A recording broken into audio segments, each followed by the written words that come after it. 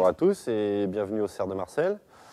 Euh, donc l'idée aujourd'hui c'est de vous faire une petite vidéo pour vous présenter l'historique euh, sur la dernière année euh, de cette serre-là particulièrement aujourd'hui et de vous montrer tous les essais en couvert permanent qu'on développe depuis un an.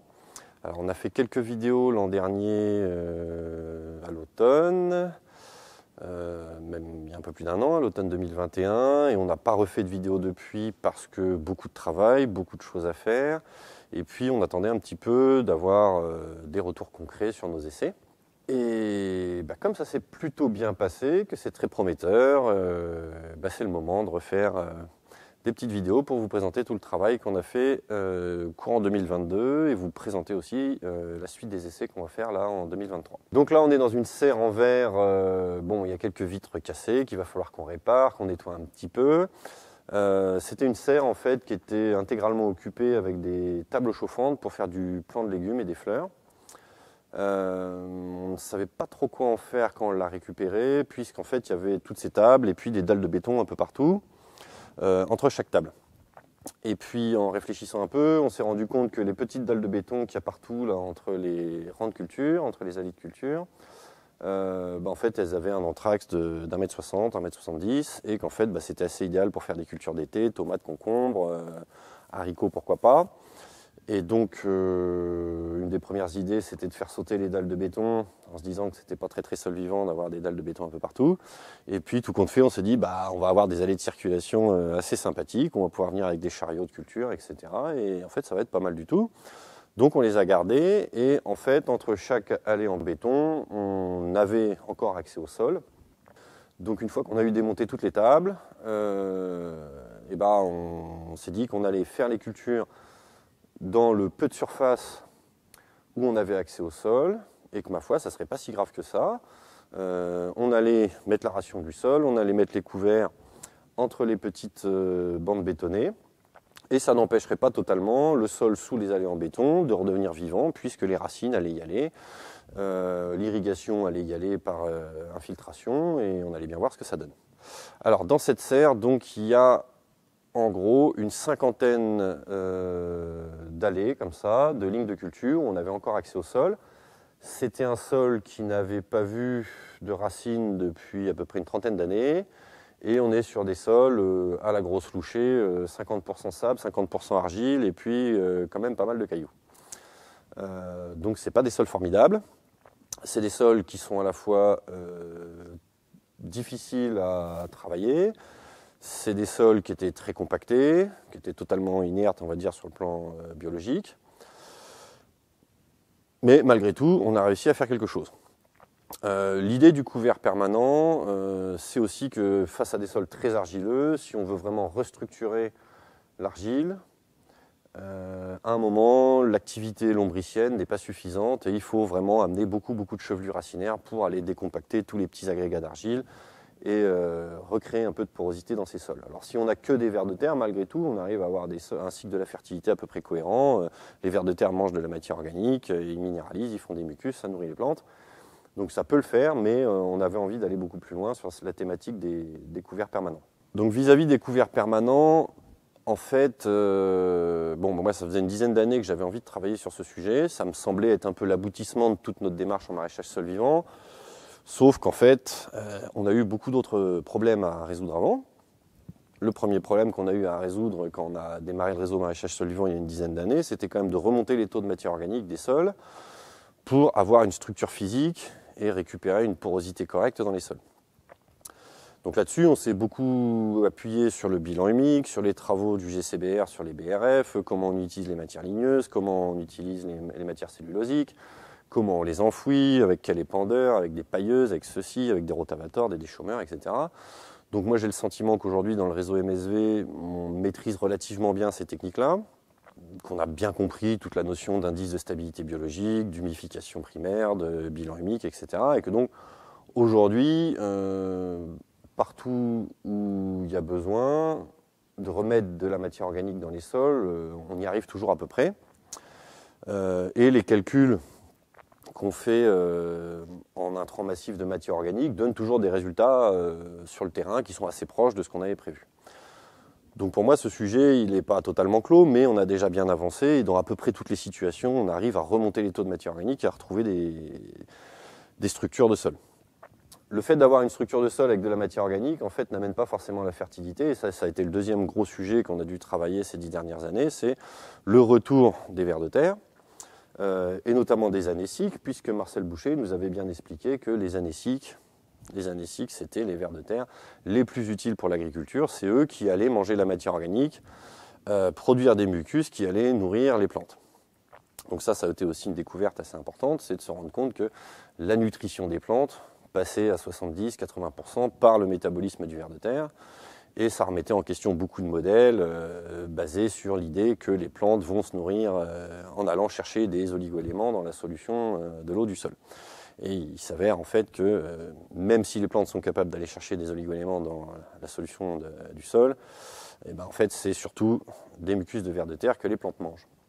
Donc une fois qu'on a eu débobiné ce dossier, le, résultat le plus important, la chose la plus importante à retenir, je dirais, sur le, redéveloppement et le retour des, vers de terre, c'est qu'en gros, quand on part d'un sol dégradé avec des populations de vers de terre de quelques dizaines de kilos hectares, il faut deux ans pour qu'une population de la population de lombriciens euh, se redéveloppe, atteigne une biomasse à l'hectare d'environ une tonne, et qu'on retrouve un cycle de la fertilité à peu près cohérent.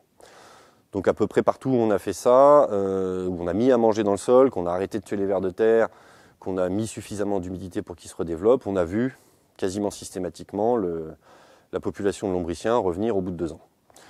On a eu quelques exceptions à ça, euh, c'est notamment chez les séristes en serre chauffée où il n'y avait plus un seul ver de terre à l'hectare. Et donc là, on s'est retrouvé euh, un peu embêté parce que comme il n'y avait plus du tout de reliquats de population, bah, ils revenaient tout simplement pas, même au bout de deux ans. Alors là, on a développé une solution qu'on a mis en œuvre ici, qui est intéressante, qui est qu'en fait les anéciques euh, donc vont mettre en gros euh, deux ans à revenir. mais deux ans, c'est quand même un peu long. Ça veut dire que pendant deux ans, il faut mettre en place une stratégie de transition où on va nourrir les plantes avec des engrais divers et variés, peu importe fondamentalement, mais pendant deux ans, on va être obligé de mettre en place un plan de fertilisation qui soit à base d'engrais chimiques, de matière organique ou quoi que ce soit, euh, pour pouvoir produire pendant deux ans en attendant que les euh, vers de terre reviennent.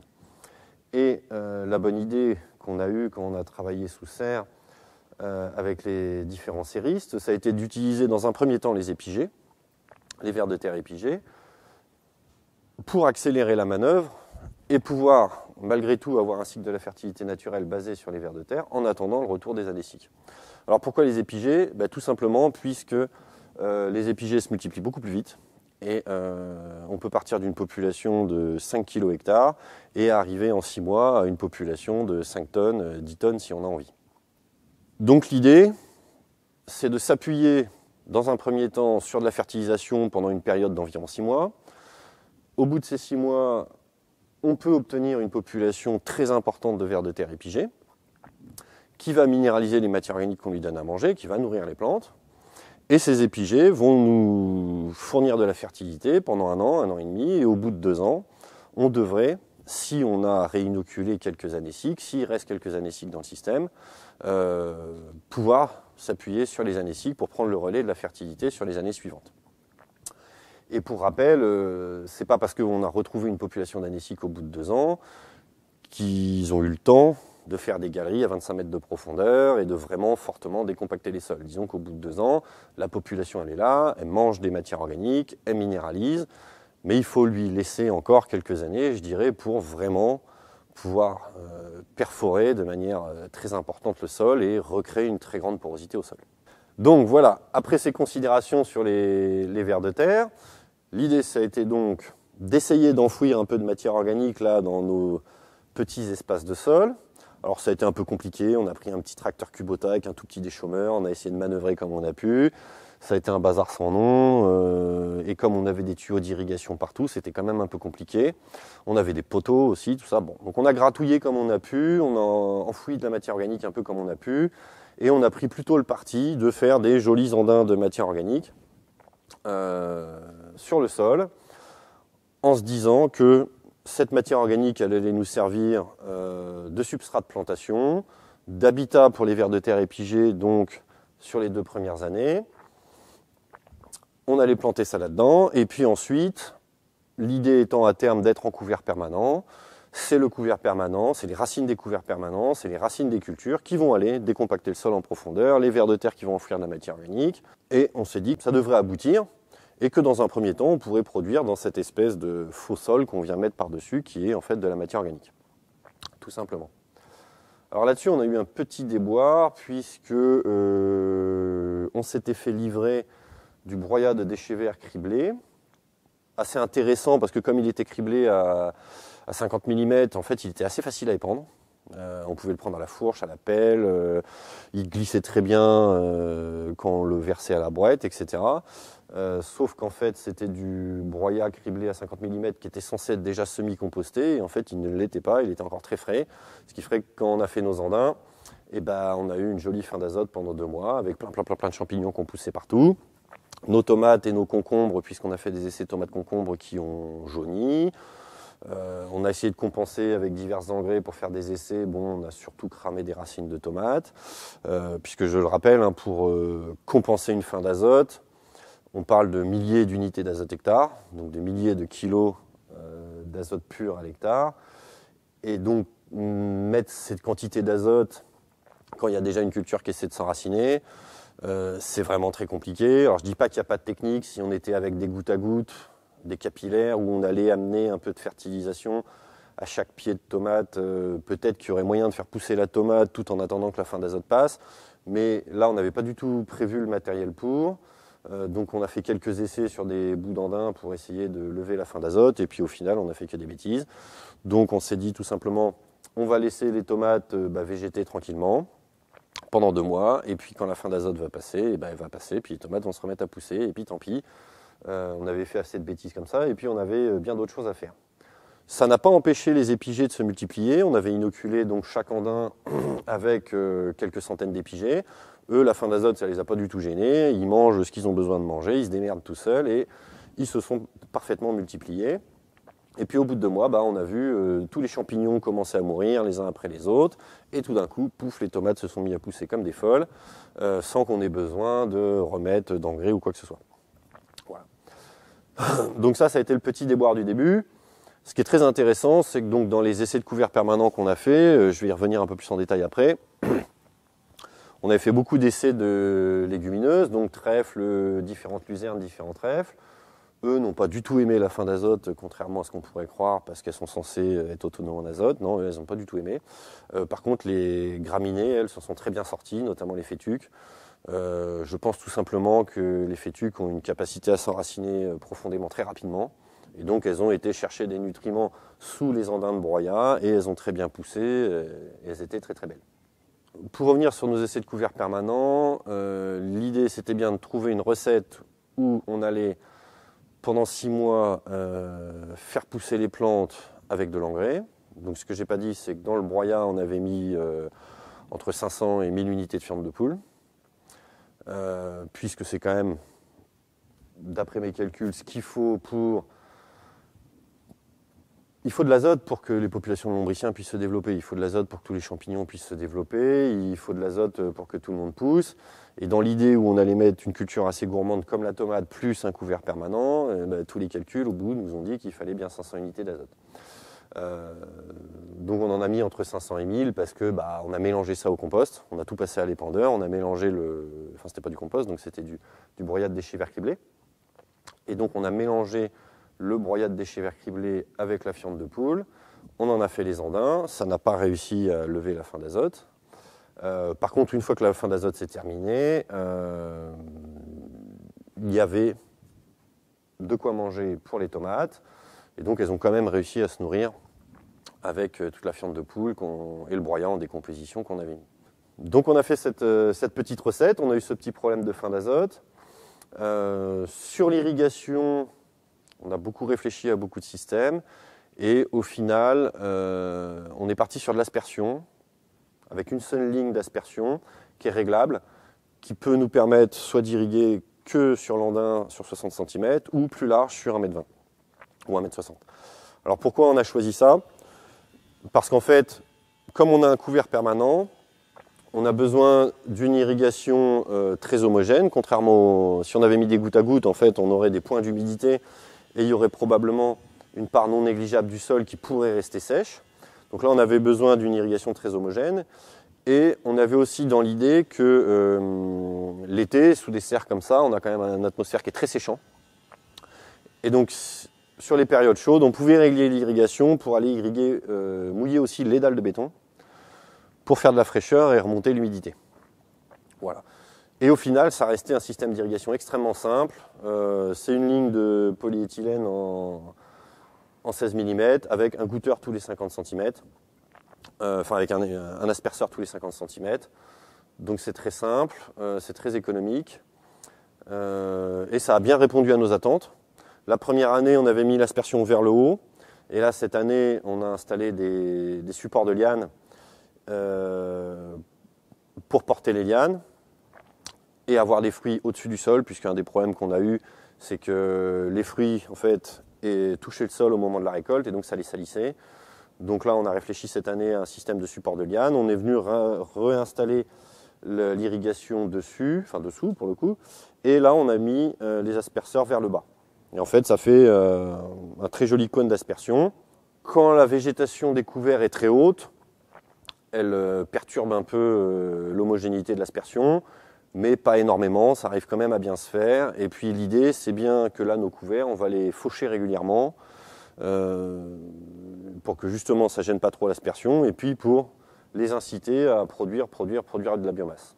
Alors pour expliquer un petit peu plus en détail notre euh, réflexion sur les couverts permanents, l'idée donc ça a d'abord été de mettre en place une stratégie de reconstruction biologique des sols avec des matières organiques, 10 mètres des épigées qui vont assez rapidement euh, nourrir nos cultures, d'attendre que les années cycles reviennent, et de faire un certain nombre d'essais, donc ça c'est tout ce qu'on a fait sur 2022, pour essayer de déterminer plusieurs choses. La première chose, c'est quel type de couvert nous intéresse. Euh, et quels critères, je dirais, vont nous euh, permettre de dire tel couvert ou tel couvert, il est intéressant ou pas intéressant. Et ensuite, dans un second temps, euh, une fois qu'on a déterminé les couverts qui pouvaient avoir une utilité ou ceux qui servaient vraiment à rien, ça c'est ce qu'on va faire cette année. L'idée, ça va être de, euh, d'essayer de mesurer si sur des couverts déjà très développés, on arrive rapidement à un système totalement auto-fertile ou partiellement auto-fertile. Donc ça, c'est ce qu'on va déterminer cette année. Et ce sur quoi on va travailler aussi cette année, ça va être le, retour de la macrobiodiversité. Je vais y revenir, mais cette année, dès cette année, on a, dès que les couverts se sont implantés, on a tout de suite vu euh, énormément de biodiversité revenir. Donc dans les essais de couverts permanents, qu'est-ce qu'on a fait? On a d'abord essayé toute une gamme de graminées, euh, des annuels, différentes fétuques, euh, et, différentes euh, graminées euh, qu'on trouve dans les mélanges pour gazon ou les mélanges prairiaux. Au final, on n'a pas vu une différence énorme entre toutes nos modalités d'essai.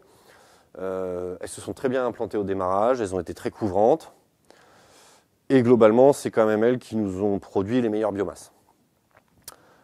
C'est assez dense, c'est assez épais.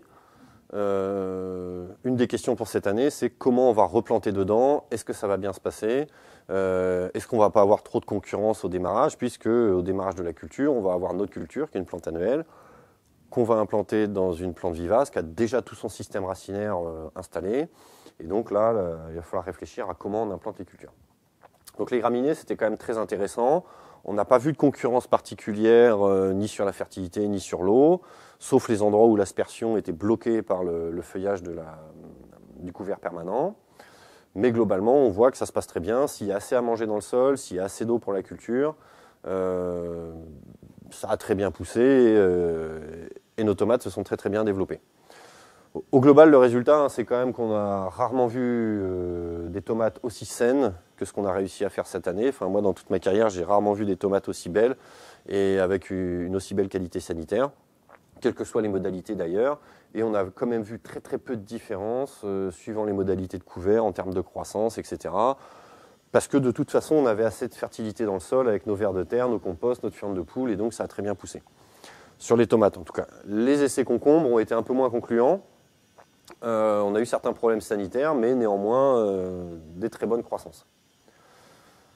Donc graminées, c'était pas mal du tout, c'est très encourageant, mais clairement, sur les graminées, il va falloir des plantes hautes. on n'arrivera pas à faire une salade dans une fétuque, on n'arrivera sans doute pas à faire un fenouil dans une fétuque ou un épinard. Par contre, pour tout ce qui va être concombre, euh, tomates, haricots et peut-être même euh, poivrons, aubergines, c'est pas impossible d'imaginer qu'on implante ça dans, ce type de couvert. Donc très prometteur. Euh, dans ce qui était aussi prometteur, il y a eu les luzernes, très bon développement. La luzerne a peut-être le défaut par rapport au fétuc d'être moins envahissante. Là, l'idée, c'est quand même bien d'avoir un couvert permanent très très envahissant qui va, euh, s'il a été mal semé à un endroit, qui va tout coloniser, euh, qui va produire de la biomasse, capter de la, lumière. Euh, et aussi, là, dans notre système, l'idée c'est que ça soit capable de ramper sur les dalles de béton pour aller capter la lumière résiduelle dans les allées durant l'été. Donc ça, la fétuque ne le fait pas aussi, elle colonise pas très bien la dalle de béton. La luzerne encore moins, puisqu'elle ne marcotte pas, elle ne se développe pas latéralement, je dirais, et elle va assez mal coloniser les endroits où elle, est, où elle a été mal semée. Mais malgré tout, ça produit de la biomasse, c'est très couvrant, euh, donc c'est pas mauvais non plus. Mais c'est pas forcément un choix qu'on qui, qu'on va garder. Quoi. Donc luzerne, c'était pas mal, mais c'était pas non plus excellent. Après, on a essayé toute une gamme de trèfles, trèfle blanc, trèfle violet, qui là ont été vraiment très intéressants, puisque ça reste vraiment au ras du sol, c'est des plantes d'ombre, elles se développent très bien sous les tomates. Et euh, chose pour nous très intéressante, c'est qu'en fait, euh, comme elles sont rampantes, qu'elles marcotent, euh, qu'elles font des stolons dans tous les sens, eh bien en fait, elles vont chercher là où il y a de la lumière. Donc en fait, l'objectif du, couvert permanent, c'est que partout où il y a un peu de lumière, ça serait bien qu'il y ait une plante qui se développe pour aller capter cette lumière, faire de la biomasse, faire des systèmes racinaires dans les sols. Et le trèfle est vraiment un très bon candidat parce qu'on le voit ramper sur les dalles, on le voit se développer un peu plus partout où il y a des puits de lumière entre les cultures. Et euh, donc ça s'est vraiment bien passé avec le trèfle, c'était vraiment très encourageant. Et on s'est retrouvé dans les essais de trèfle à avoir les dalles de béton quasiment complètement recouvertes par le trèfle à la fin de la saison. Bien qu'on marche dessus, en plus il était assez résistant au piétinement. Donc euh, toutes les gammes de trèfle étaient quand même, euh, surtout les trèfles blancs de prairie, c'était vraiment ceux qui étaient les plus performants pour, pour aller chercher la lumière, pour ramper, pour se développer dans les moindres interstices de dalles de béton. Donc ça, c'était vraiment une plutôt bonne plante. Et ce qu'on a vu aussi, c'est que si on le fauchait un petit peu de temps en temps, euh, le trèfle monte beaucoup moins en hauteur que la luzerne ou, la les graminées. Et donc, il était peut-être un bon couvert permanent pour, faire des cultures d'hiver en rotation avec les cultures d'été sur des plantes beaucoup plus basses. Donc cette année, au, au de Marcel, sur d'autres serres, euh, on va essayer toutes les gammes de cultures d'hiver.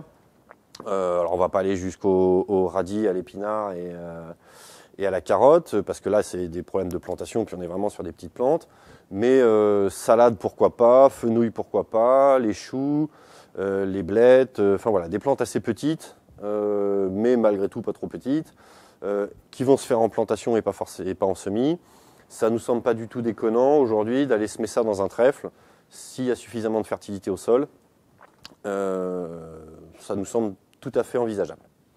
Donc le trèfle, euh, on en a installé là cette année sur une, quintuple chapelle et euh, dès cet automne, on va faire toute une gamme de légumes d'hiver dedans parce que aujourd'hui, ça nous semble vraiment pas très compliqué à mettre en place. Dans les couverts aussi qu'on a essayé, qui étaient assez prometteurs, donc la menthe. Alors ça, c'est vraiment la, c'était la, bonne surprise. Euh, plante absolument féroce, qui colonise à une vitesse absolument incroyable, qui est capable de, vraiment se développer sous les dalles de béton, de ressortir absolument partout, de coloniser complètement le, système, qui reste très très propre, très productrice en biomasse, elle redémarre très tôt, elle s'arrête tard. Sa croissance est très ralentie quand la culture de tomates ou de concombre euh, est vraiment très développée. Euh, mais pareil, partout où il y a un puits de lumière, elle va aller euh, coloniser le puits de lumière. Donc très bonne plante. Et en plus, ça peut, pourquoi pas, faire entre guillemets une double culture. Vous pouvez vendre des bouquets de menthe. Bon, ça ne va pas aller très loin en termes de chiffre d'affaires, mais pourquoi pas, si vous avez un débouché sur la menthe, c'est pas forcément inintéressant. Donc menthe, on en a essayé trois variétés, vraiment très intéressant.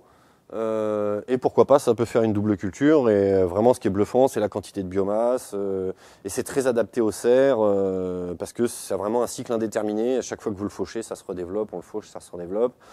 c'est vraiment chouette. Ça s'implante très facilement en fait. C'est comme de l'ortie. Hein. Vous prenez un stolon, vous le mettez dans les andins, ça pousse à une vitesse incroyable. Là, sur ces andins-là, on avait mis 20, 20 pieds de menthe initialement. Donc euh, un tous les mètres de chaque côté. Et euh, ça a colonisé à une vitesse incroyable. Ça repart très bien, c'est très dense. Là pour l'instant on a essayé trois variétés. Euh, ma foi, elles ont toutes des résultats relativement identiques. c'est un, très très bon candidat pour faire du couvert permanent sur des parcelles où on va mettre que des cultures d'été. Alors pour continuer sur les couverts, sur les différentes modalités qu'on avait essayées, donc là on a deux autres menthes. Ce qu'on avait essayé sur cette petite planche là-bas, c'était de prendre euh, tout simplement, euh, de scalper une prairie, d'en prendre des petites mottes, et puis d'en poser un peu partout. Et en gros, l'idée, c'était de reprendre la végétation naturelle d'une prairie et de venir la mettre sur nos andins. C'était pas inintéressant, on avait des rumex, des pissenlits, tout un tas de trucs rigolos. Euh, mais là, on voit qu'avec l'hiver, en fait, il y a un certain nombre de plantes qui sont mortes, qui ne sont pas très bien comportées ça fait pas un couvert homogène euh, et, en fait contrairement à une menthe ou une trèfle ou un trèfle qui va très bien coloniser, on se retrouve pas en fait avec des plantes vraiment adaptées à ce que nous on cherche à faire, c'est-à-dire euh, coloniser des dalles de béton, coloniser des pieds de poteau, coloniser des, fissures un peu partout. Donc c'était pas inintéressant, c'était très couvrant, mais au bout d'une année, on voit que euh, voilà, trèfle menthe, c'est beaucoup plus intéressant quand même. toutes les plantes vraiment qui sont rampantes, sont beaucoup plus intéressantes. On a essayé sur un andin pour rigoler un peu aussi de l'ortie, tout simplement. Euh, de l'ortie qu'on a récupéré euh, à droite à gauche. Alors ça c'est aussi une très bonne plante en termes de production de biomasse. Ça supporte relativement bien la fauche. C'est un très très bon candidat en termes de production de biomasse pour, pour faire un couvert permanent. C'est vraiment redoutable. C'est aussi bon que la menthe. Le problème, bah, c'est que ça pique. Euh, bon, mais en soi, c'est pas tant un problème. Euh, bon, mis à part le jour de la plantation, il faut mettre un peu des gants peut-être. Euh, mais après, voilà, on le fauche régulièrement. Si nos cultures sont sur les supports de liane, bon, voilà, le souci, c'est peut-être pas se balader en short quand on taille et on récolte parce que ça va piquer les pattes. Donc voilà, l'ortie, c'est un très très bon candidat. Vraiment, le défaut c'est qu'il picote un peu. Donc la menthe est un peu plus intéressante parce qu'elle a vraiment un développement végétatif assez similaire à l'ortie, mais, euh, mais elle picote pas. Et en plus, on peut manger la menthe. Bon, les orties aussi, on peut se faire de la soupe à l'ortie, c'est très bien. Alors l'ortie, malgré tout, on en a pas mal qui poussent un peu partout, donc je pense qu'il est très agressif, il a tendance à s'installer là dans notre système, euh, dans les bouts d'en et tout. Et comme il est un peu pénible à désherber, bah, je pense qu'il va s'en développer un petit peu, et puis on va le tolérer comme, et puis ça va bien se passer quand même. Et puis si ça pique trop les pattes aux gens, et ben, ils les arracheront et puis, et puis on mettra de la menthe à la place. Euh, on s'était posé la question des plantes spontanées. Euh, il y a quelques andins en fait où on avait laissé un peu se développer différentes mauvaises herbes avec différentes stratégies. Au final, on n'a rien eu de très très intéressant. C'était un peu la déception. Euh, j'avais un peu d'espoir là-dedans de me dire que dans les plantes spontanées, on allait trouver certaines choses. Euh, on a juste là une espèce de graminée rampante dont je ne connais pas le nom. Il faut que je regarde son nom exact.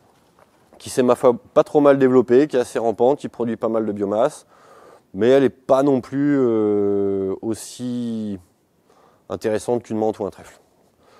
Donc en plantes spontanées, on n'a pas vraiment trouvé euh, de choses très intéressantes. Je ne dis pas qu'en cherchant, on ne trouverait pas.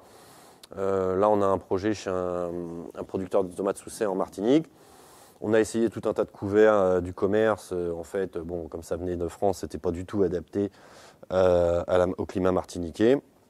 Et pour le coup, là en Martinique, en travaillant sur les plantes spontanées et la flore locale, on a réussi à trouver des plantes très intéressantes. Euh, pour le coup, là-bas, comme ça pousse vraiment fort, on, a, on, commence à travailler sur des couverts euh, permanents multi-étagés. Donc, on a des petites graminées rampantes au sol. On a des espèces de lianes, la Vigna luteola, qui est rampante encore par-dessus. Et puis, on essaie de voir comment tout ça se, comporte l'un avec l'autre.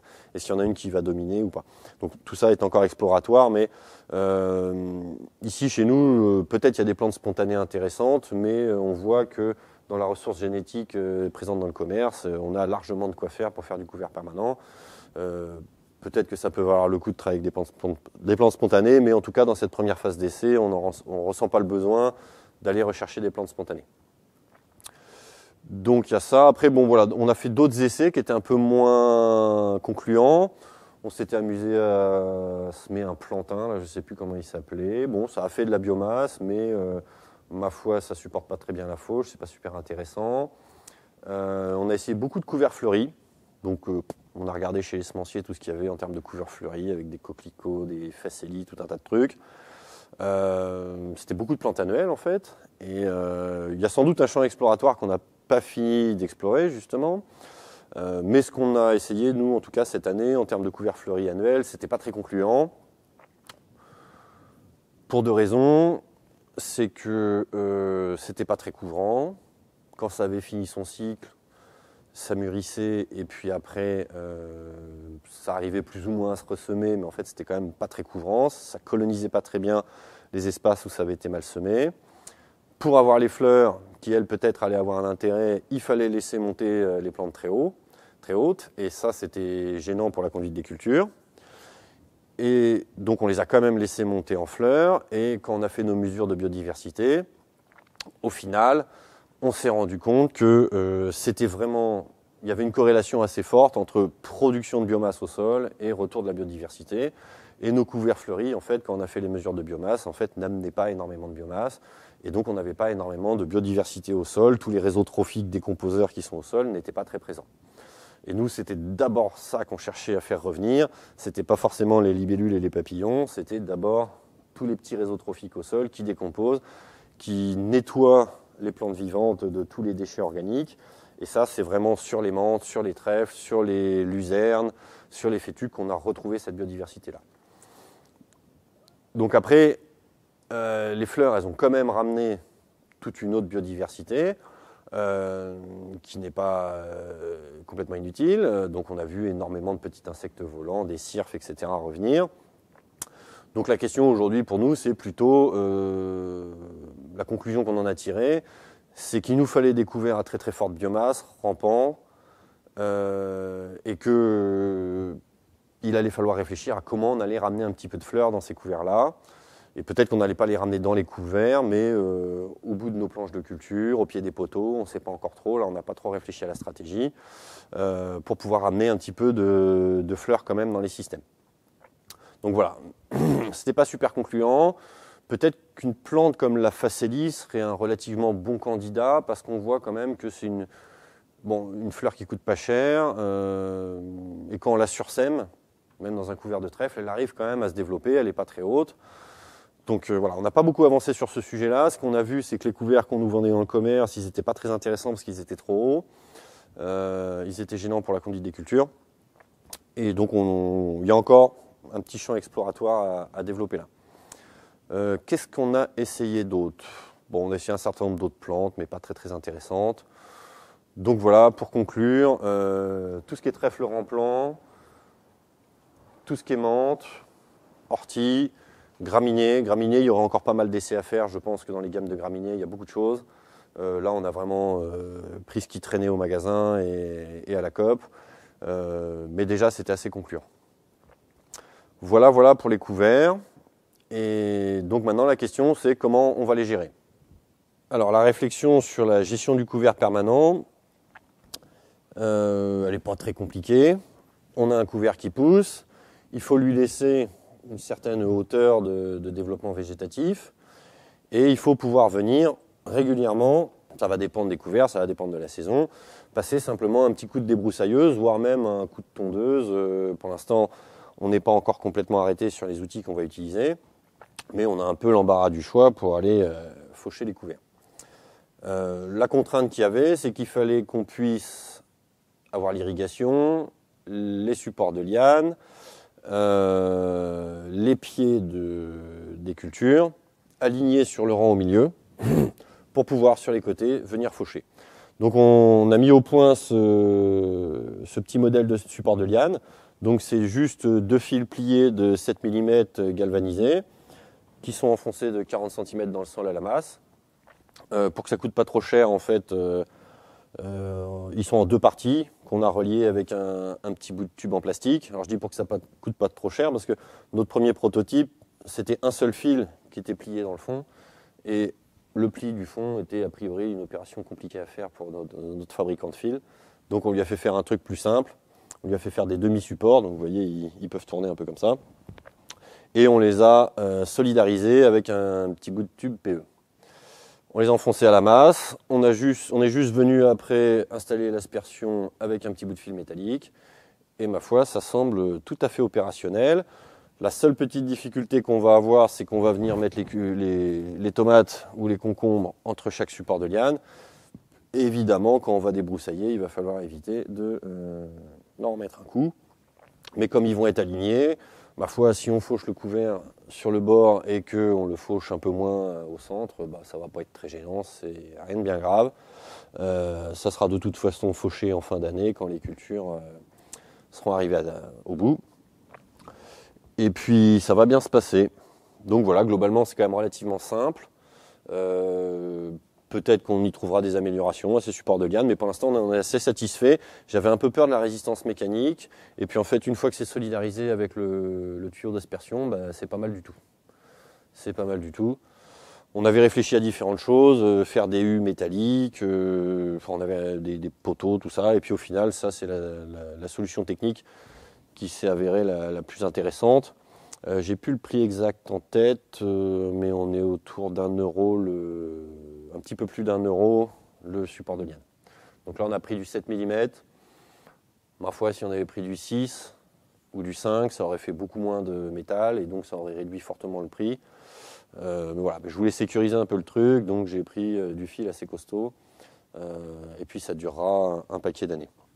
On va voir ce que ça donne en termes de résistance mécanique quand on va voir toutes les lianes qui vont venir poser avec les grappes de fruits dessus.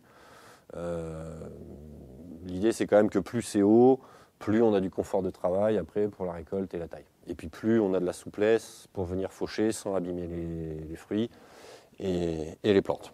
Donc pour résumer, l'an dernier, on a mis au point une stratégie de remise en vie des sols. Je remets de la matière organique, je mets des vers de terre, tout ça se multiplie, on sème des couverts, on regarde comment tout ça se développe. Donc je vous ai résumé un petit peu le résultat de tous nos essais.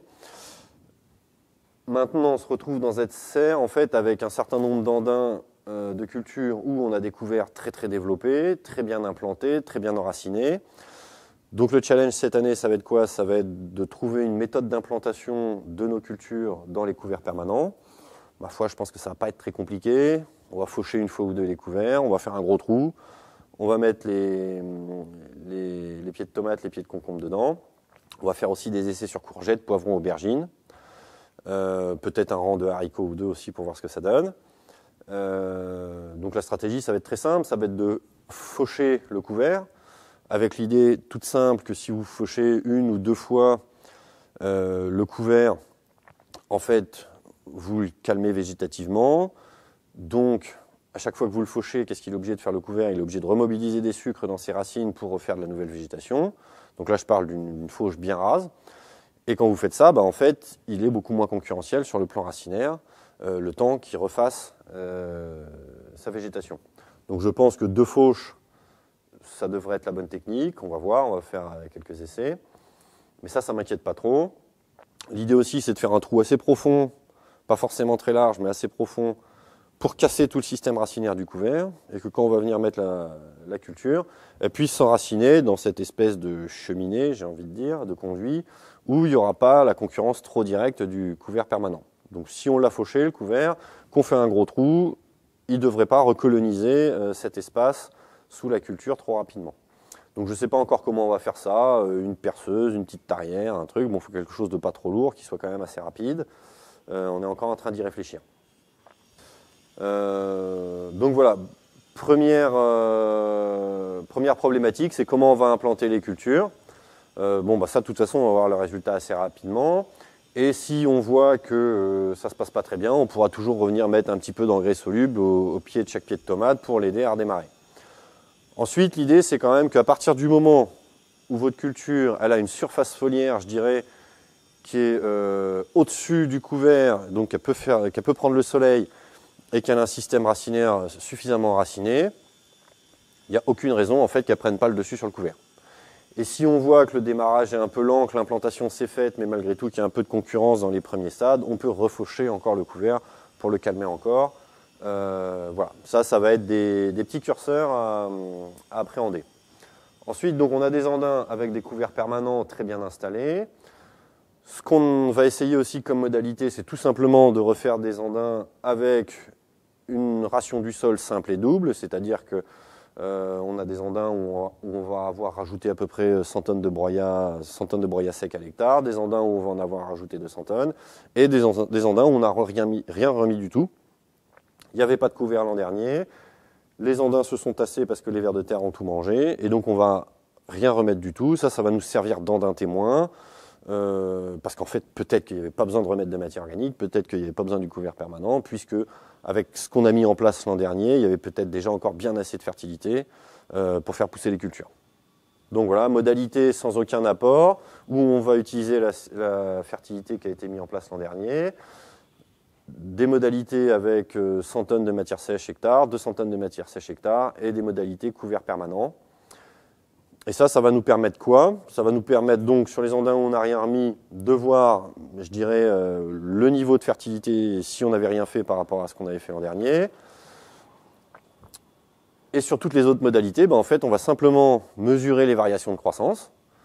Euh, et ce qui nous intéresse beaucoup cette année, c'est de voir euh, les variations de croissance sur les couverts permanents, avec une réflexion toute simple, c'est que si on a une perte de croissance de 10%, 20%, 25%, 30% sur les couverts permanents, bah, ça veut dire quoi? Ça veut simplement dire que nos sols euh, manquent de 10, 20, 30% de services écologiques cette année, et que donc bah, il faut simplement imaginer que euh, si on veut se lancer dans le couvert permanent, la deuxième année, on n'est pas encore complètement en auto-fertilité. Bon, ça dépend de ce qu'on a mis la première année, mais en tout cas sur ces essais ici, et que donc il va falloir compenser, soit avec euh, les besoins en engrais euh, à 10, 20 ou 30%, ou les besoins en matière organique à 10, 20 ou 30%. Voilà. C'est des raisonnements un peu bébêtes, mais je pense que ça marche très bien. Et donc si on voit euh, là dans nos essais de couvert permanent une, une, baisse de croissance de production de 20 ou 30%, sur la moitié des andins, on viendra refaire des modalités engrais ou apport de matière organique euh, à faible granulométrie pour qu'elle soit mangée très vite, pour voir si on arrive à récupérer une, des niveaux de croissance optimales. Alors pour revenir un petit peu sur le sujet de la biodiversité, et, bien tout reprendre de zéro,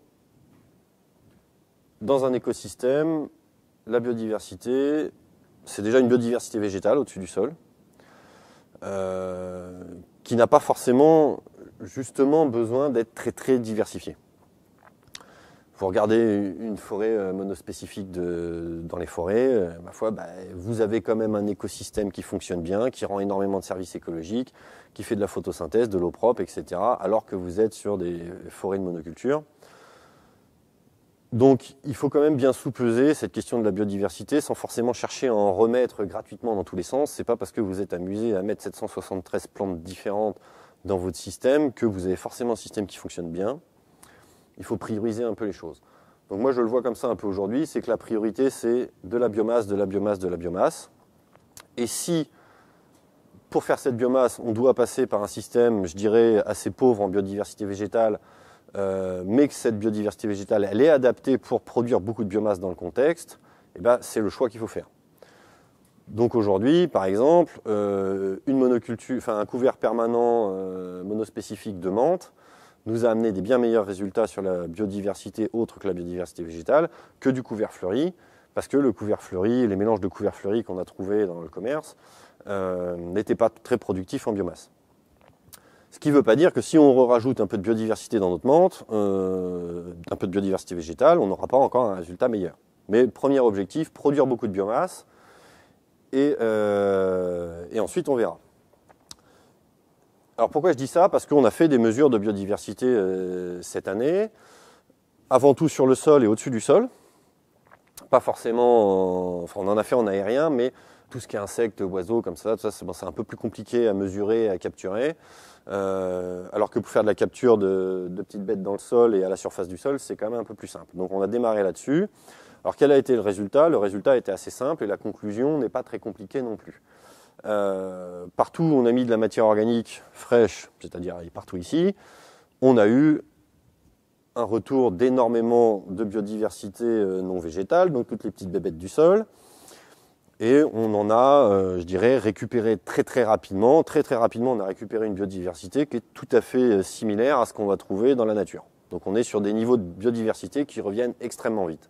Ça, c'est quand même quelque chose à retenir quand on nous parle d'effondrement de la biodiversité, etc. Euh, à partir du moment où on remet les bonnes pratiques, en fait, tout va extrêmement vite. Et la logique, elle est assez simple. C'est que si vous avez des bestioles qui ont des cycles de quelques jours, ben en fait, ils mettent que quelques jours à revenir. Si vous avez des bestioles qui ont des cycles de reproduction de quelques semaines, eh ben en fait, elles ne mettent que quelques semaines à revenir. Alors surtout sur une petite serre comme ça où il y a un peu des fuites partout et où on va dire c'est pas très propre, ça n'a pas été désinfecté comme on peut voir dans, les serres chez certains producteurs. En fait, on a un retour de la biodiversité, je dirais, qui est instantané, euh, à la limite du, enfin je dirais proportionnellement euh, à la longueur du cycle de reproduction de la bestiole. Donc à partir du moment où on a eu mis de la matière organique, on a retrouvé énormément d'insectes dans le sol, et certaines, grosses bestioles euh, ont mis un peu plus de temps à revenir, mais en tout cas, c'est extrêmement rapide. Sur, les couverts permanents, on a vu exactement la même chose. Les couverts, on les a semés, ils ont germé, on les a plantés, ils ont commencé à se développer. Et en fait, on a eu un retour de la biodiversité au-dessus du sol. Euh, tout ce qui est petit acarien, etc. Enfin, je vous passe les détails, mais en soi, ça n'a même pas une, très grande importance. Mais on a eu un retour de la biodiversité au-dessus du sol qui a été extrêmement rapide et qui a tout simplement suivi le développement végétatif du couvert. Plus le couvert a commencé à être couvrant, plus on a vu proportionnellement de la biodiversité revenir au-dessus du sol. Et plus le couvert était productif en biomasse, plus il était dense, plus il faisait de l'ombre au sol, euh, et ben en fait, plus on a retrouvé de bestioles. Et ça n'était pas forcément lié, comme je disais, au nombre d'espèces végétales qu'il y avait au-dessus du sol. La première corrélation qu'on a observée, c'est plus on a de biomasse, plus on est couvrant, plus on a de la biodiversité qui revient. C'est à peu près aussi simple que ça. Et là aussi, on retrouve des niveaux de biodiversité qui sont très proches de, ce qu'on trouve dans une prairie, dans une litière forestière ou des choses comme ça. Donc ça, c'était vraiment le résultat très intéressant. Si les bestioles, elles ont un cycle de reproduction court, elles reviennent très très vite. Et si elles ont un cycle de reproduction un peu plus long, bah, elles mettent un peu plus de temps à revenir. Donc tout ça était assez intéressant. On a vu énormément de prédateurs de tout type, euh, des punaises, des araignées, on a même des guêpes qui ont commencé à, recoloniser les serres. Et donc ma réflexion là-dessus, c'était que malgré tout, on n'avait peut-être pas assez de super prédateurs, de, vraiment grosses bestioles carnivores qui bouffent tout. Et que peut-être elles, elles avaient un problème d'habitat parce que c'est plutôt des, grosses bestioles. Et donc ce qu'on va essayer de faire cette année, c'est déjà de recommencer un petit peu nos mesures de, mais en en faisant moins, recommencer nos mesures de, biodiversité dans le sol, au-dessus du sol, mais aussi de recréer de l'habitat artificiel avec tout un tas de pots, de bouts de tubes, de petits morceaux de bois percés dans tous les sens, pour voir si en amenant une quantité importante d'habitat, on va réussir à faire revenir des plus gros insectes, euh, qui vont être des prédateurs supérieurs, qui vont réguler l'ensemble des, réseaux trophiques. Donc ça, c'est un peu la, dernière phase euh, de réflexion, c'est vraiment comment euh, ramener toute la biodiversité, même celle qui est un peu plus difficile à faire revenir, parce qu'on va être confronté à une problématique d'habitat. Donc comment on va mesurer le résultat sur la biodiversité et pourquoi on cherche à remettre en place cette biodiversité? Alors c'est déjà pour avoir euh, une bonne décomposition de la matière organique, ça c'est la biodiversité du sol, avoir un couvert qui se développe correctement et qui lui-même ne soit pas attaqué par des phytophages et tout un tas de parasites, donc il faut qu'il ait lui-même son propre système de régulation. Et ensuite, on veut essayer d'avoir dans la serre suffisamment de biodiversité, de réseaux trophiques, des super prédateurs, des carnivores de tout type, pour aller manger tous euh, les parasites des plantes. Donc le résultat il va être assez simple, hein, c'est que partout où on va voir des plantes qui se font ravager par des, ravageurs justement, bah, ça voudra dire que possiblement on a encore un problème de biodiversité. Et l'autre hypothèse, bah, c'est aussi que peut-être possiblement on va avoir euh, des plantes euh, qui ont trop de fertilité, qui ont des problèmes d'irrigation, euh, des plantes qui ont besoin de lumière, qui tout d'un coup, par exemple si certains couverts ont besoin de lumière, et qui se retrouvent trop à l'ombre, bah, peut-être que ça va les faire souffrir et donc ils vont se faire attaquer par des parasites. Donc il y a, quand même pas mal de petites choses à, regarder. Mais le résultat pour nous, le premier à avoir, bah, c'est d'avoir des, plantes saines en bonne santé. Donc voilà, on a fait tout ça.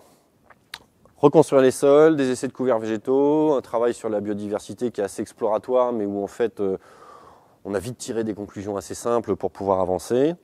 Et ce qu'on va faire cet été, mais ça, ça donnera lieu à, des futures vidéos, c'est qu'on va faire un travail assez complet sur euh, les indicateurs de valeur nutritive euh, des cultures. Et on va commencer par des indicateurs très simples. Alors taux de matière sèche, aujourd'hui clairement on se rend compte en ayant fait des mesures euh, chez différents producteurs de tomates à variété équivalente qu'en fait on a des grosses variabilités de matière sèche. Euh, on s'en rend compte, c'est assez clair. Euh, si on met beaucoup d'eau, si on met beaucoup d'engrais euh, minéraux, nitrates et compagnie, on a des plantes turgescentes.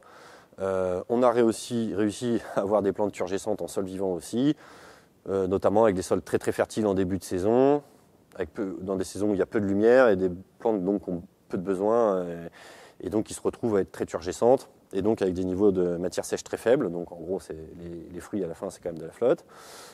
donc on a un peu de travail sur euh, la régulation de tout ça. Alors je pense que le couvert permanent va être une bonne solution pour régler ces, pour lisser la fertilité tout le long de l'année, puisque si à un moment donné on a des excès de fertilité, une plante comme la menthe euh, va être en, capacité d'absorber tout cet excès de fertilité.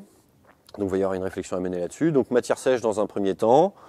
Euh, on le fera, la matière sèche, on va la mesurer. Ça se fera aussi peut-être par la mesure de la densité des tissus. ça, on est en train de mettre au point le protocole. Un point, un indicateur très important, c'est le nitrate aussi, on le voit tout de suite. Dès qu'il y a de la surfertilité et euh, de la surfertilité qui est suffisamment importante pour euh, amener des problèmes sanitaires, ça se lit tout de suite on mesure les nitrates sève, euh, les nitrates fruits et les nitrates sol. Et puis après, on va faire tout un tas de, de mesures assez classiques pour essayer de corréler les choses, donc taux de sucre, BRICS, euh, tout ce que nous permettent de faire la mallette Oriba, là qu'on utilise, donc euh, tous les oligos, NPK, divers et variés. Euh, donc on va faire toute une batterie de mesures là-dessus, et si possible, on va faire les, les vitamines C, les carotènes, puisque c'est des mesures qui ne coûtent pas encore extrêmement cher, on va peut-être trouver du financement là-dessus. Et vitamine C, carotène, c'est vraiment des, éléments qui sont très très révélateurs de, de l'intensité photosynthétique de la plante et de sa bonne santé. En fait. Donc ça, on va faire ça du mois de juin au mois d'août. Et donc on aura les résultats cet automne. Et ici, ça va être quand même très intéressant parce que entre des modalités couvertes, des modalités, euh, je dirais, surfertilisées avec des doubles rations du sol et des modalités où on a remis sur les andins, je pense qu'on va avoir des grands écarts très intéressants sur, euh, tous ces indicateurs-là. Je vous remercie de votre attention et puis euh, bah, on essaiera avec l'équipe de MSV Normandie de refaire une petite vidéo d'ici quelques mois. peut-être le mois prochain, où on vous présentera aussi donc, tout le travail qu'on a fait au Cerf de Marcel sur les couverts permanents en plein champ, sur courge. Là, on va faire cette année tout ce qui est courge et courgettes sur couvert permanent. Et on a toute une serre, une quintuple chapelle, où on va faire toutes les cultures d'été sur un couvert de trèfle. Voilà, voilà. Merci, à la prochaine.